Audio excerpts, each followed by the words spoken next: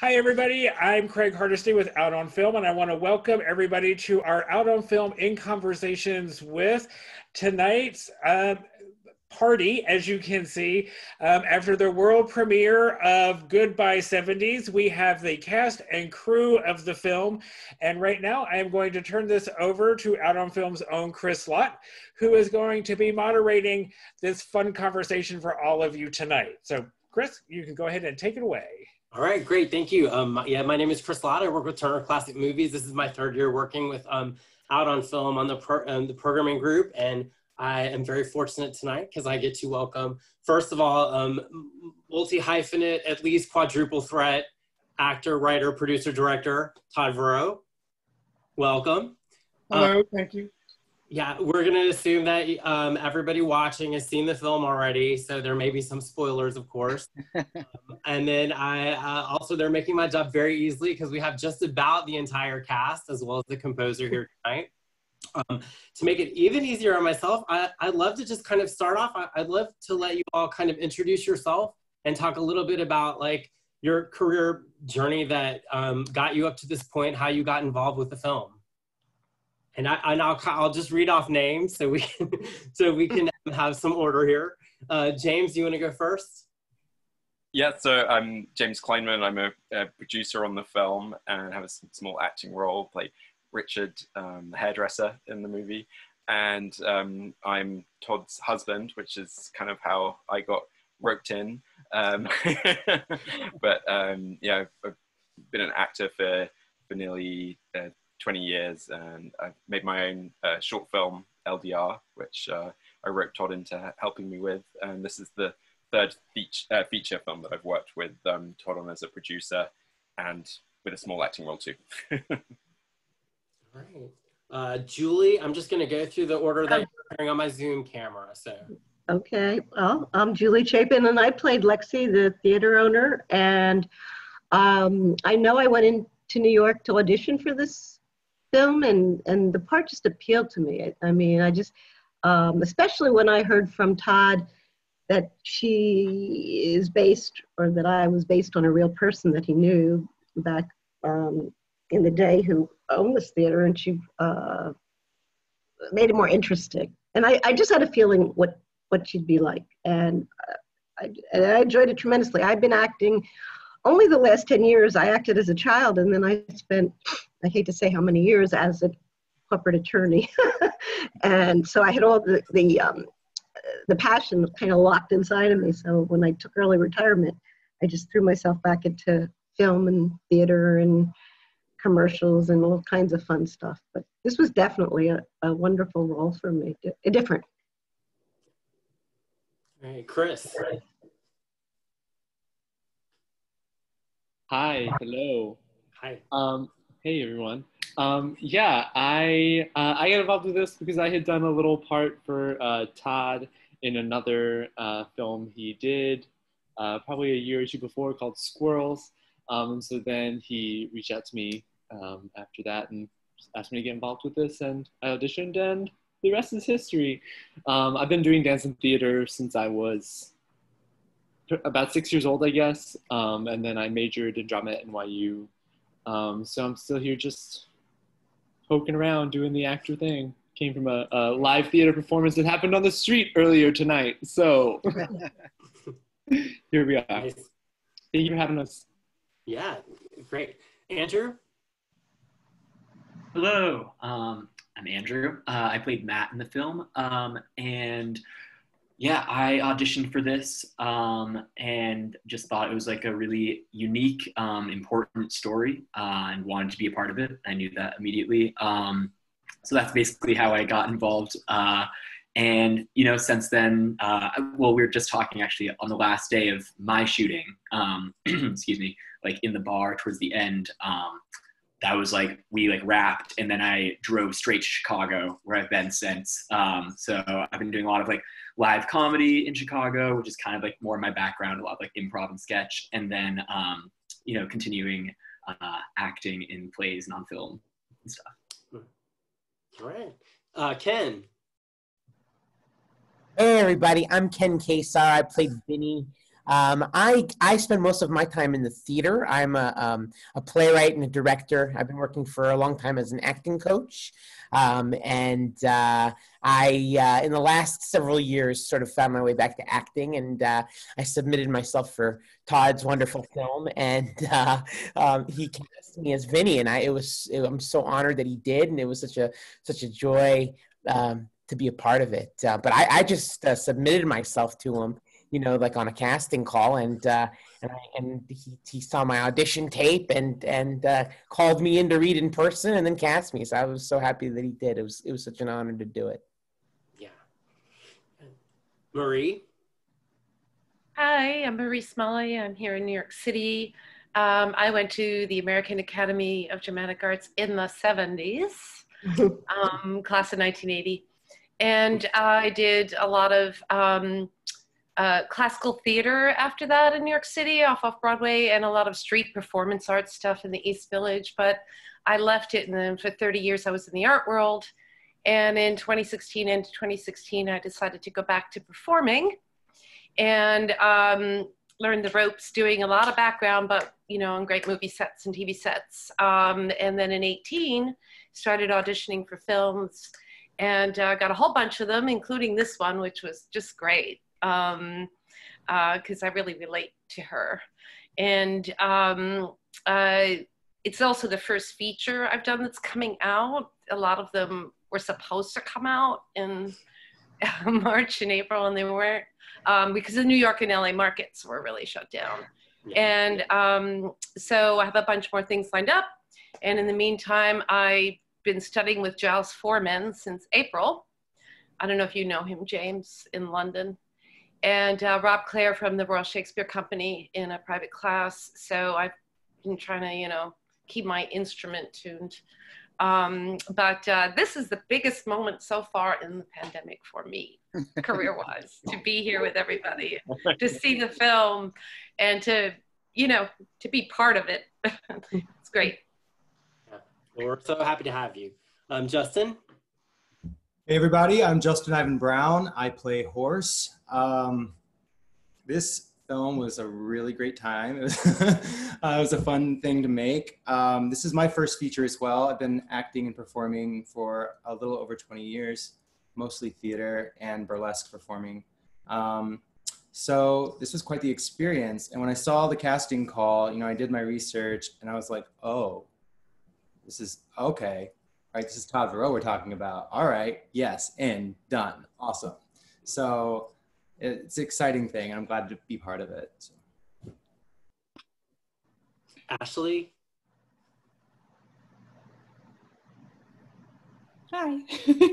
um, yeah, I'm Ashley Burgun, and I played Beth, uh, the makeup artist and uh, friend. And um, I, I actually found uh, this through just like searching through casting calls. I was doing lots of like indie stuff and shorts and uh, lots of background work, which is always a thing. And um, I just I the character sounded really interesting and the fact that it was like a period piece was really intriguing to me and then i the fact that i was able to read the script and the script was so awesome like i remember reading the script and crying because i could just like it was it's such a great story and it has such a good balance of like comedy and and tragedy and um, so I was really excited and then it turned out to be an amazing experience.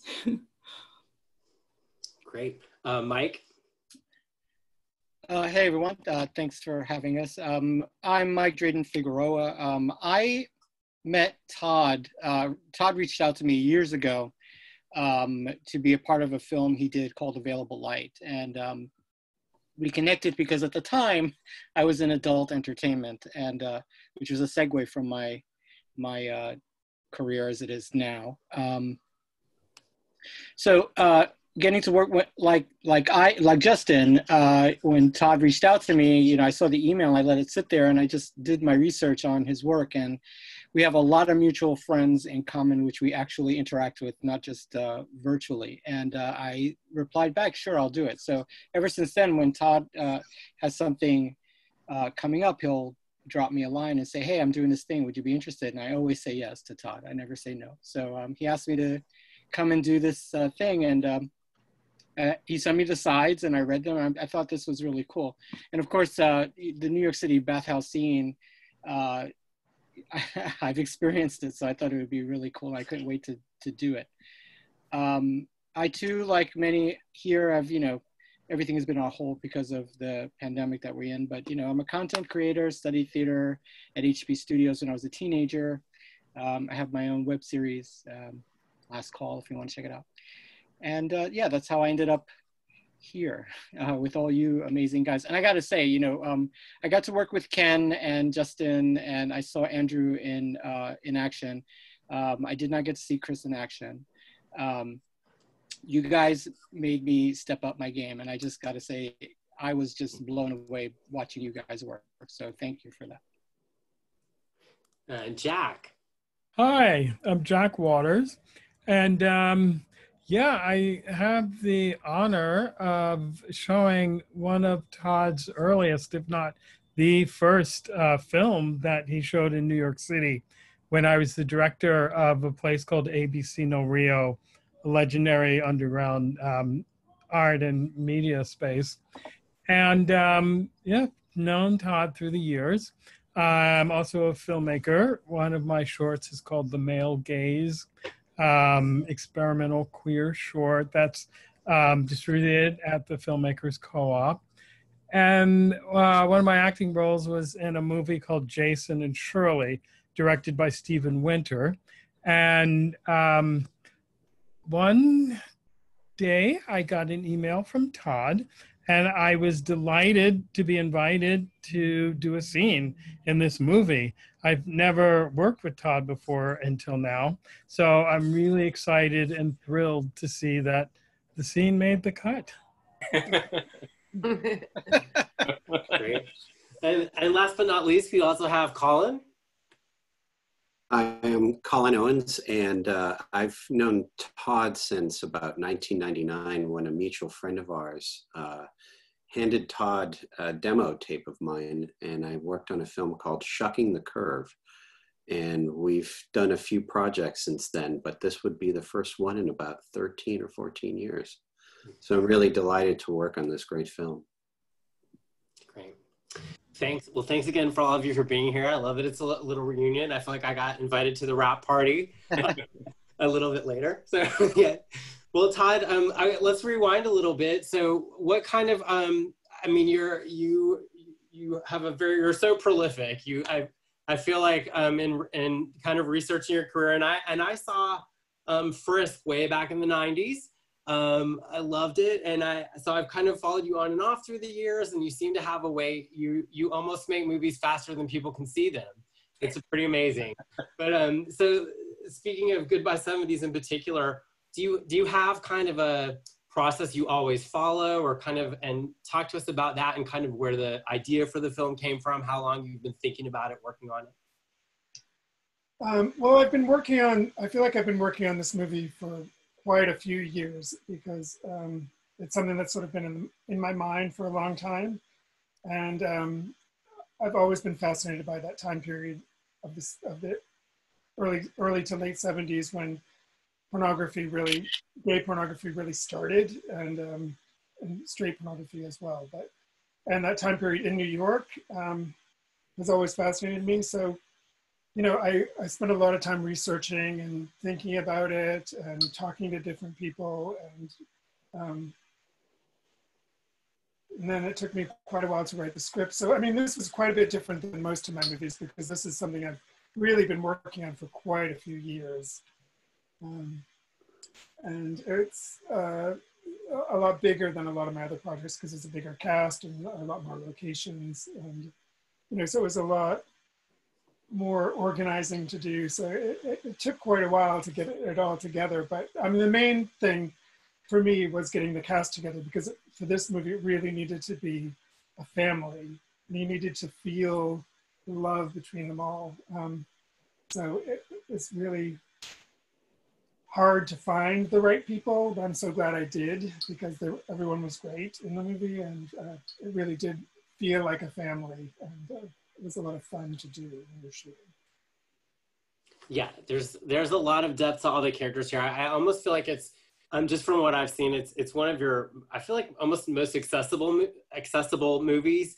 And um, uh, but everyone did a great job. There's this I haven't watched it yet, but there's this show Ratched on Netflix now where they uh, it's about the nurse from One Flew Over the Cuckoo's Nest. And I I mean just thinking about it, I was like I feel like you could do this prequel series about just about any one of the characters from this movie, and and I would totally be there for the whole thing. It's true, yeah. Maybe maybe um, maybe brought, like, you know, brought the characters relate to you life. could do a series. Yes. Someone, if someone's got Ryan Murphy's number, will. I'm, I'm sure the cast will Yeah. be the Yeah. Well, it doesn't really figure. So so if, if Disney calls, would you be you'd really willing to the next Avengers movie? Oh yeah, oh yeah. No, Okay. I don't know about an Avengers movie. I don't, I'm not really into those. I can't get into those movies. They're Yeah, too I- I. There's too many special effects, too many things. You know, I, it's not my thing. But if they wanted to do a series based on all the characters from Goodbye '70s, sure, I'd do it. Okay, sounds good. I would. I'll I'll pitch that for you. Um, well, let me talk. Uh, let's talk a bit, a little bit about the production. Um, you did. You were did a lot of location shoots. Um, how did you choose locations? Did they travel together? Well, I mean, the hardest location to get was the, the actual porno theater because um, there are no theaters in New York that look like a movie theater from the 70s. They've all been renovated or torn down or you just don't have the right look. Um, but I knew because I went to school, I went to RISD in Providence. Um, so I knew this theater, the Avon in Providence, Rhode Island. And it, it used to be a porn theater in the 70s. And it hasn't really changed much. It still has the old seats and the old cigarette machine and all, all the old uh, tampon machines and stuff. So I knew that we had to get that theater somehow. So I managed to get it. And that was the first stuff we shot. And it was really great because we all went to Providence. We all stayed at the same hotel. We all got to know each other. And um, it was part of the whole building the family thing. And it was really great to do that first. Um, and we used some other locations in Providence too to get sort of exterior 70s looking stuff. Um, but we filmed a lot of real locations here in New York. Uh, we filmed at the Ever Everard Baths exterior to get an establishing shot, and um, we filmed the Fire Eye. I mean, it was a lot of different locations, and it was a lot of fun to sort of find the right places that sort of fit in. Yeah, you did a great job. I mean, right from the get- beginning with the aspect ratio and some of the found footage and costumes and everything, it really brought you right back to that time period. It was a great job on that. Do you, I mean, outside of those other jobs, I mean, I know you do editing, uh, costume design. Do you bring anybody else to help you with any of that? Well, yeah, I mean, everybody in the cast helped with the costumes because I know Marie brought all of her costumes were from her wardrobe. Um, Ashley brought a lot of costumes. Justin brought some. So, I mean, every, everybody sort of, you know, we were all in it together and we all helped, they helped me out with the different looks and stuff, which I think is part of the, of the fun too, and getting into characters so much, the costumes and the makeup. Um, but it was a lot. uh, The great thing is, is we have eBay now and all this stuff online, so yeah, you can find a phone from the 70s and like wallpaper from the 70s and underwear that hasn't been opened yet from the 70s, stuff like that. So it was a lot of fun to just gather all this stuff together. Yes, Bradford's underwear collection was great. Very authentic. Um, well, let me. So, what? Um, just to go kind of ar- around the group again. What were some of your? What was one of your favorite character moments in the movie? Do you? And we can kind of go. We'll go backwards this time. Jack. Oh my goodness. Well, I can't think of a more delightful scene to play than a shower scene, of course. And uh, yeah, especially this particular character who is so um, affected by the trauma of um, being targeted, um, you know, for busts during the era where just like being gay uh, probably wasn't illegal in itself at that point, but still prone to constant um, arrest. And so um, one one of the, the I was really into it, and I feel like I was so method about the scene that I was like frantically washing my hand and I was and I was washing the same spot and I was so like, vigorous about it that after the shoot I had this sore you know like a scar a rash basically for weeks afterwards. Um, so I kind of felt that was just a great way to lose myself in this character. Awesome. Mike?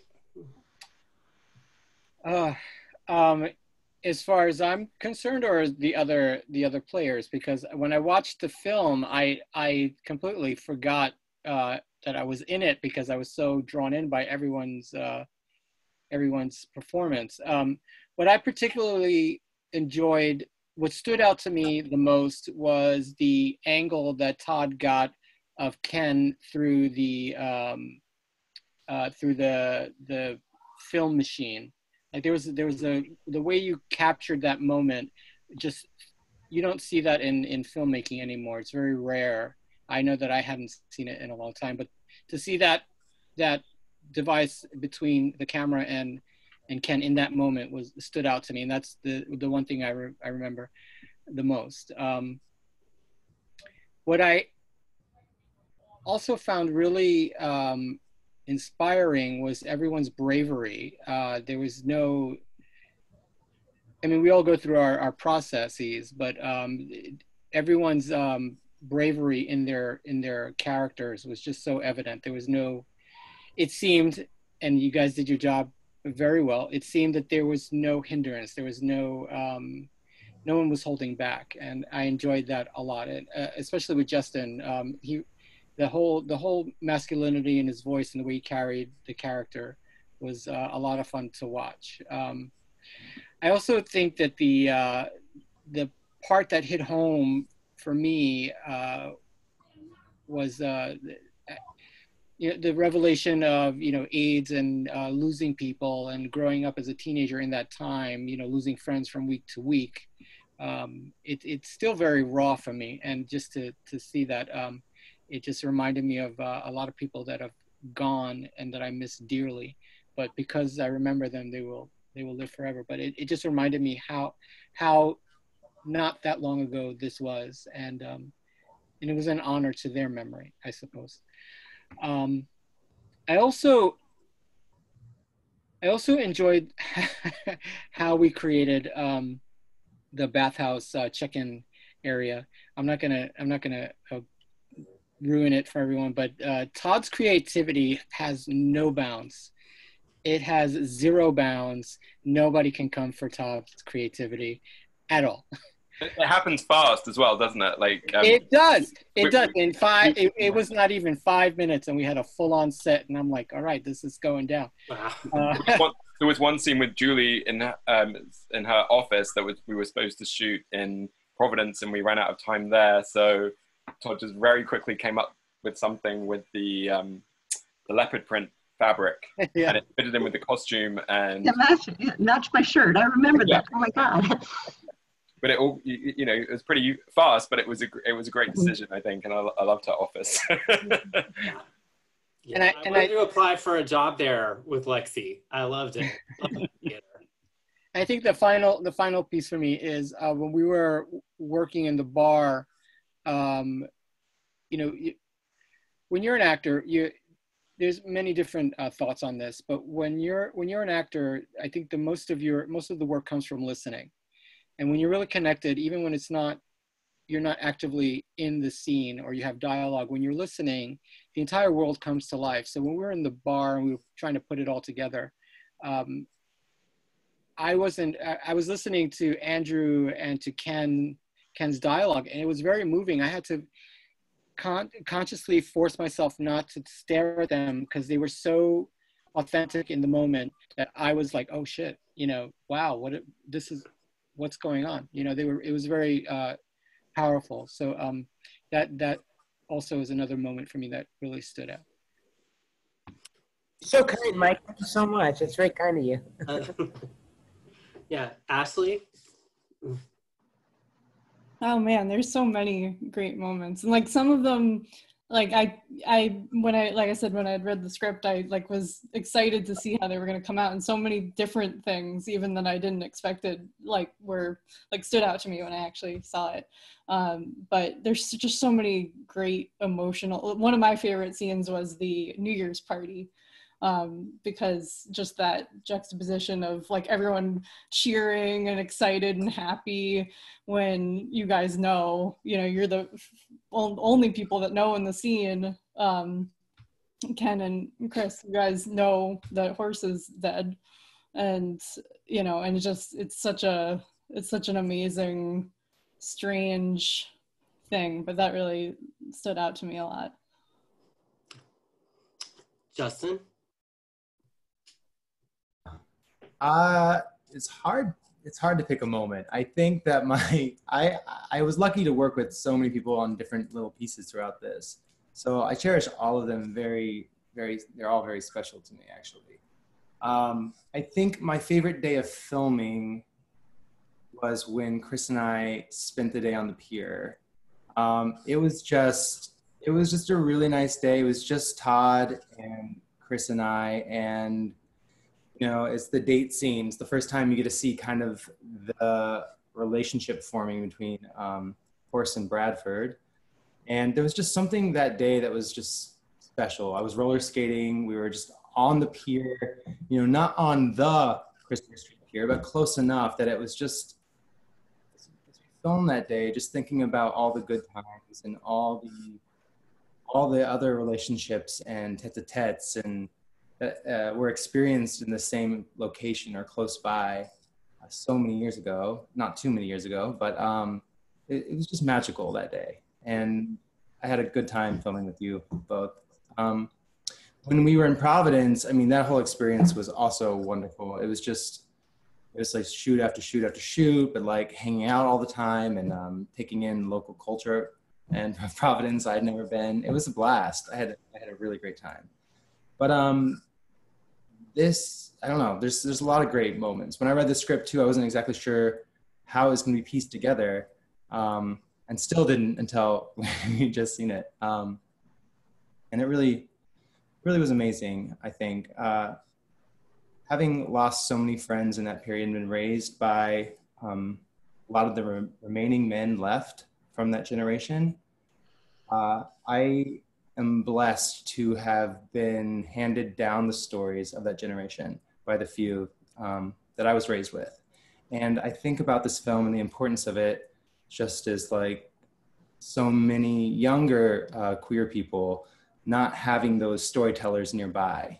Um, and I'm hoping that a film like this can bridge that gap and uh, we can start talking again and we can start talking about our history and start um, encouraging everyone to get back to the fun and the freedom before the pain. So uh, this whole this whole project was really special for me personally. Thank you. And I will say that you you mastered that kind of cheeky come hither porn look too. I love that. Marie.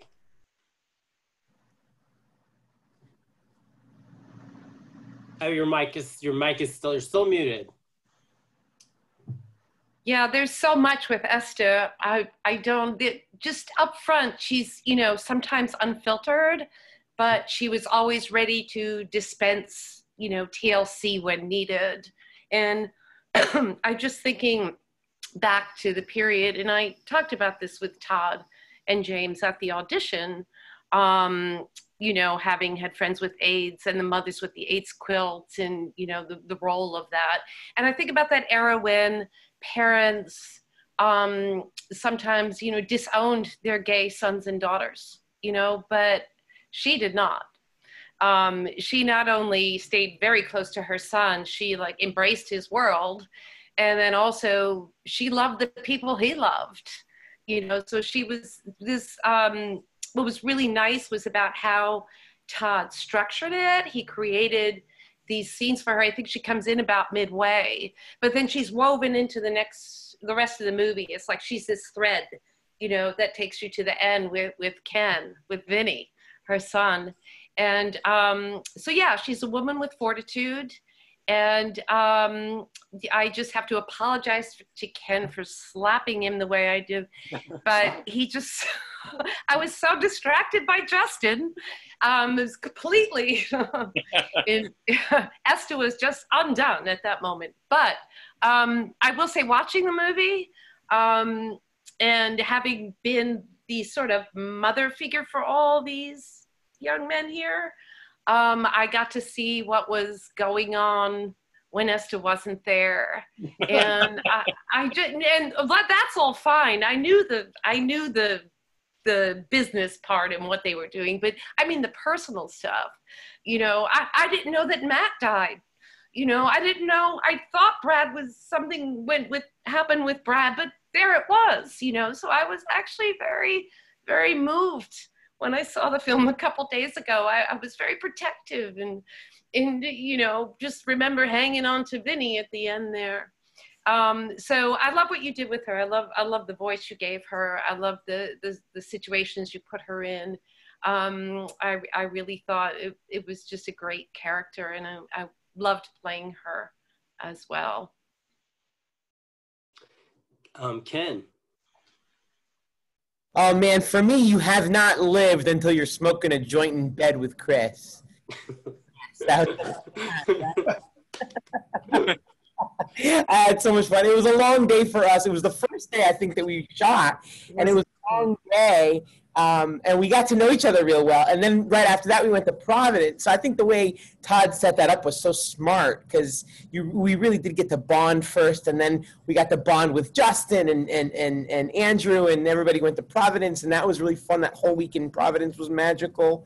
Um, and then the, the scenes where, like the post funeral scenes, where we're all lying on the floor you know, after the funeral, those were really magical because you felt such a strong bond between all of us. So Todd really did create this wonderful family feeling that uh, I don't know how quite he did it. It was just so organic and so natural. Um, I loved it, and uh, going out to Fire Island with uh, with Chris and Justin was really fun. We had a great time that day too, and uh, running around on the beach and all that. So that was all good. And I and I'll never forget him getting slapped by Esta. That was that was awesome.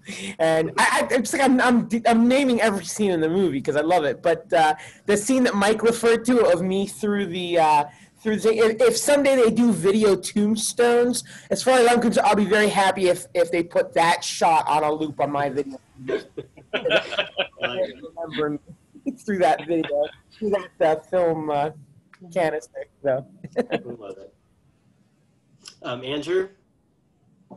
Um, yeah, I mean, as so many people have said, there's so many uh, moments that uh, we could talk about. Um, one that just came to me, uh, and this is not even uh, an on-screen moment, but one of the days when we were shooting, uh, you know, kind of like the, one of the family scenes where Esta's, uh, you know, taking care of all of us. I remember before shooting, um, Marie and I sitting outside of the apartment and just like eating breakfast together and having a really really lovely morning where it kind of felt like she was you know giving me advice. And like it was a very seamless transition from that moment into uh, filming that day. So that's something that kind of came to me just now. But um in terms of like my character um i think i really appreciated like the youthfulness and innocence uh that is there for um matt uh you know throughout even as he does some like perhaps not so innocent things um, and you know gets into uh, drugs and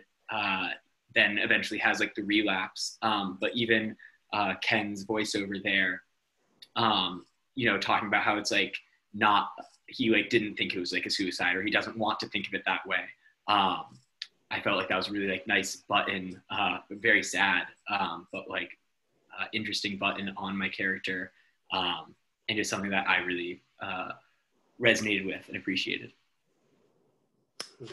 Chris. Oh, where to begin? um, first, like, definitely going back to what Justin said, other people have said about um, telling a story that takes place within and features. And I remember at one point, Justin, I, for, I forget when this happened, but someone asked us what the film was about. And my response was just like, the AIDS crisis, like the HIV, you know? Um, so being able to tell that sort of story was, um, again, very meaningful for me as well. So just wanted to echo that. But also gotta, I feel like I'm just like shouting back at people. Ken, I was gonna bring out those exact scenes for this moment. And it's partially because um, you know, I'm still in that place with watching it where like I, I feel like I'm reacting to my feelings about the scene or about what was happening to, And that exact uh, what you described, that it was like the first thing we shot. It was like our first long date together, and it was a lot about figuring out that friendship and figuring out like the boundaries and or lack of boundaries, um, and and the closeness between those two. Uh, uh, uh, platonic male friends, which like you know, gay having gay male platonic friends, especially in this day and age with like the the Grindr and like all the stuff, everything's so sexualized, you know. So having platonic gay friends is, I, I think, uh, it's, it's an interesting thing in the gay community. It's more, you know. Anyways, y'all know where I'm going with this. Um, but the, shooting that scene was was so much fun. Um, but I would be remiss if I also didn't give a shout out to the day that we did our first read through, and Justin's eyes getting big right now because he he knows where I'm going. We had to have like a little loop of us like humping basically to play in the theater when we went to Providence. So literally, we had known each other for just a few hours, and it was like, okay, now we're gonna get this quick shot of you guys fake fucking. So, so um, those are definitely two. You know, my reasons aren't rooted in the story, but they were, they were definitely highlights of the shoot for me. Love you guys. Julie. Oh yeah, I'm just the, when I was shooting the, the, in Providence and also in New York in the um, scene at my office it was so real to me. And I think I'll, I'll, I'll give Todd a lot of credit because he, I remember even in the theater, he brought in the sandwich. He made the sandwiches that I, she's eating. You know, um, I think he took the crust off for me too. and then when I looked at it, um, when I'm reading my little romance novel, the way you piped in the French, the French speaking, it's just all those touches are great. Um, but the best part was actually reacting to Chris and, um, like I'll say, uh, Bradford and Vinny. Um, they really were real to me when they came in and they were bumbling around with the with the big uh, film, and I'm like, and then finally they want to lead with it, and I took it, and I really feel like I was just reacting to them, and I I don't even know how I managed to get this the words out because I was totally reacting to them. And then the wonderful thing is how much they developed their characters, particularly Bradford. By the time we were in my office, he's like, he's going to be like, do I have to monitor this? I mean, do I have to count the money? He, he had he he asserted himself from the time when I first met him in the theater. They were much more bashful. They were not able to, and that's great that that was able to be developed in in just ten minutes. We'll say the two scenes.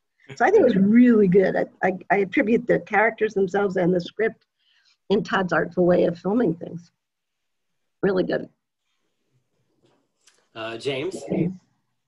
Um, yeah, I, I loved working with um, with Andrew, um, who played Matt, and I feel like a really nice sort of like friendship between the characters developed. That was it in the script? It was kind of in the script, but, but we made it our own friendship anyway. And um, Andrew was just so yeah, so kind of open to that and such a, a great person to work with in those scenes. And I loved all the the family scenes. They seemed quite choreographed, but but we stayed in that that family moment. There was a lot of lasagna eating, and I don't eat dairy, so I had to have the dairy-free lasagna, which Todd Todd made too, as well as making the sandwiches. so the food was good as well. We got to eat whilst we were in the, in our scenes, um, and another scene that sits, sticks out emotionally is in the uh, the hair salon and um, what Marie was saying mm. uh, as Esther as someone who was accepting and Richard kind of didn't ex- expect her to be so accepting um, because obviously he, um, the salon was very quiet because everyone had stopped coming. I think that was a, a nice emotional moment. Um, can I can, I actually redo my answer because I just remembered that James Absolutely. and Andrew as the two cattiest bitches in this film, but their friendship was just everything. And James, I cannot hear. Um, I what is the line? I'll just die of boredom. I cannot hear that without losing my mind. So, anyways. yeah.